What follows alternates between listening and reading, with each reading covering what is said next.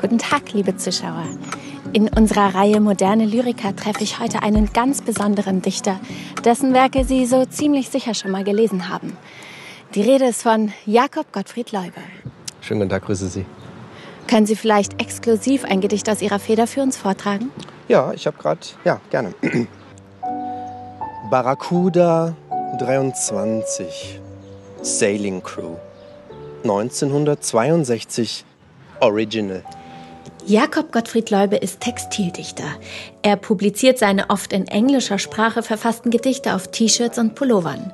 Das präzise Spiel mit Zahlen und Worten beherrscht er meisterhaft. Beach Club, British Columbia, Ultimate Getaway, California, Surf Contest, Beach Club 1994. Limited Brand 63, Original. Denim, Double Denim, Costa Rica, Triple Denim, 21 Breitengrad, Diving Expedition, Arctic Circle, Department Storage, Sailing Crew. Warum Textilien als literarisches Medium? Ja, heißt ja nicht umsonst Textilie. Ne? Und äh, die, meine Textilpoesie umhüllt quasi die Leser in ihrem Alltag. Äh, Entschuldigung, ich bin ein Riesenfan Ihres Övres. Was schätzen Sie an seinem dichterischen Gesamtwerk? Ja, wenn ich in meiner Gartenlaube sitze, da fühle ich einfach jedes Wort. C63, Takeover and Landing on Water, Great Barrier Reef, Australia. Ja, verstehe. Das bedeutet Abflug und Landung. Er ist für mich der Shakespeare der Freizeitbekleidung. Und ähm, wie finden Sie Ihre Muse? Also meine Inspirationsquellen sind ähm, Rainer Maria Rilke, Hemingway und die Landkarte mit allen US-Bundesstaaten.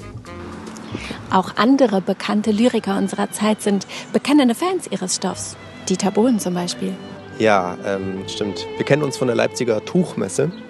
Da kam er zu mir und sagte, ey, mega geil, das T-Shirt sieht ja aus wie ein Gedicht. Und ich dann so, ja, äh, ist es ja auch. Und seitdem schmückt er sich gerne mit meinen Werken. Leube geht auch neue Wege. Nach Werken zum Thema Fernweh und Aktivurlaub widmet er sich auch anderen Sujets, wie Identität.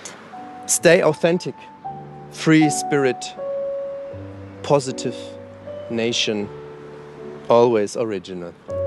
Wow. Dankeschön. Diese Texte geben mir Orientierung und meine maskuline Virilität zurück. Der verwegene Weltumsegler, der auf Safari mit Löwen kämpft, das, das bin ich. Reisen Sie gern nach Kalifornien?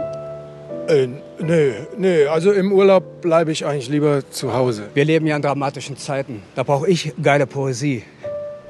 Oder darf man Poesie heutzutage auch nicht mehr sagen, wegen Po? Ja, ich sehe mich als modernen Prolet. Also Poet. Poet.